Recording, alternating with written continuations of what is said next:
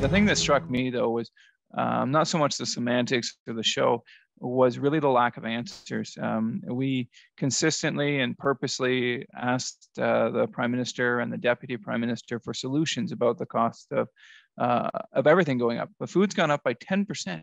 That's a lot. Um, and of course, if you are a, a uh, wealthy individual, uh, if you're uh, multi-billionaire living down in uh, on downtown Toronto, will you notice that will you notice that the cost of eggs went up 10%? Probably not. Uh, but if you're a single mom trying to get by in Cramahe, uh, or if you're a, if you're a student trying to get out of your or a, a young uh, young man or woman trying to get out of their parents' basement, uh, desperately trying to save up enough for a house, will you notice that? You, you sure will.